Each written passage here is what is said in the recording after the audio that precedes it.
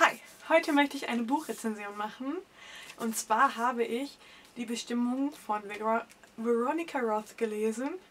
Und ja, äh, das hat mir ganz gut gefallen und deswegen wollte ich euch das einfach mal erzählen.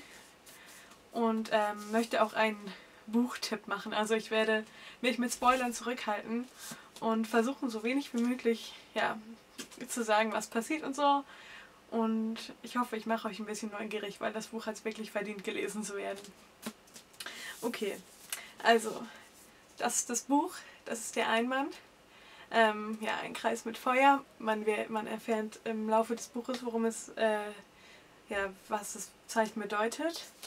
Und wenn ich den Umschlag abnehme, ist es, ups, ist es einfach blau. Und ich lese Bücher eigentlich, also wenn ich sie lese, nehme ich ähm, den Schutzumschlag immer ab, weil ich Angst habe, dass er verknicken könnte oder so.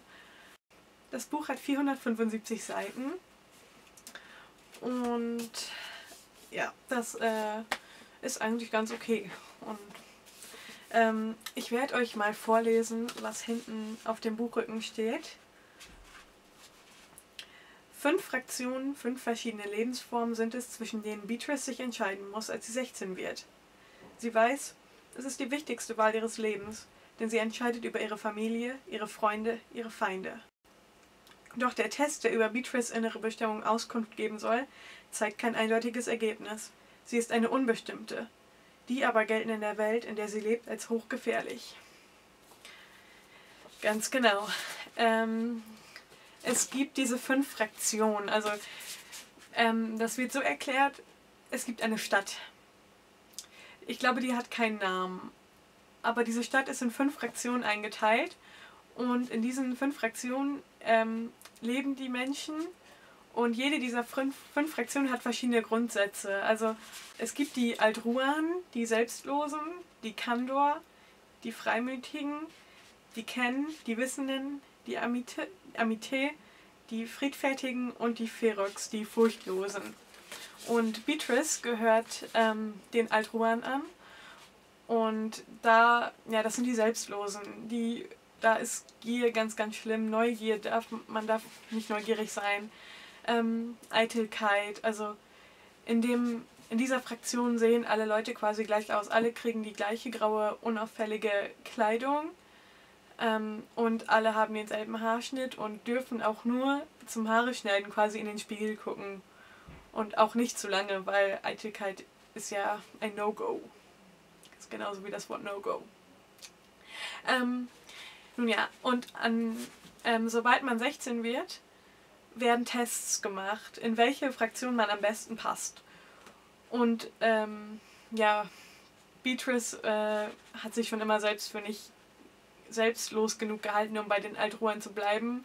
Aber ihr Testergebnis gibt ja kein richtiges Ergebnis. Also es schließt einige aus der Fraktion, aber es hebt nicht hervor, welche die eine für sie ist. Aber sie entscheidet sich dann letztendlich, zu den Ferox zu gehen, zu den Mutigen, zu den Furchtlosen.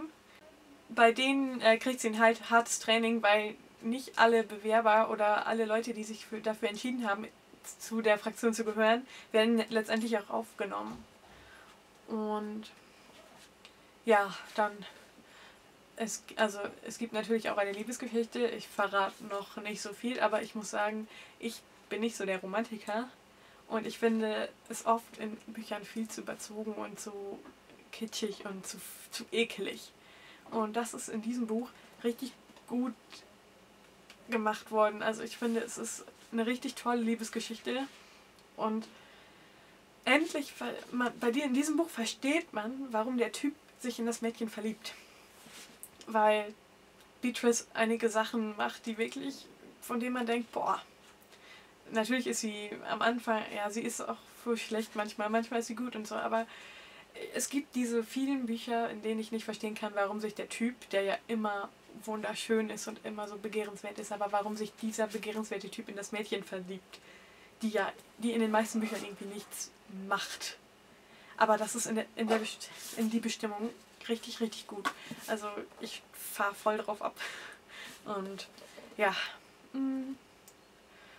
Und das ist für alle, also das ist eine Dystopie.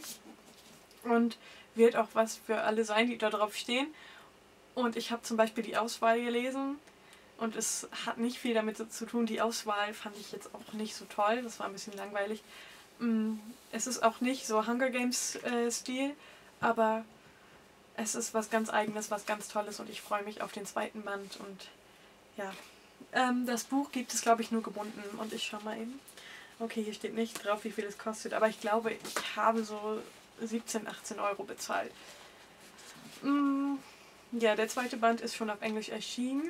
Auf äh, Englisch heißt das Ganze Divergent und der zweite Band heißt, glaube ich, Insurgent oder so. Ich weiß es nicht genau. Naja. Mm, ich hoffe, euch hat es gefallen. Und vielleicht mache ich mal noch ein Video oder so. Ja, auf Wiedersehen. Tschüss.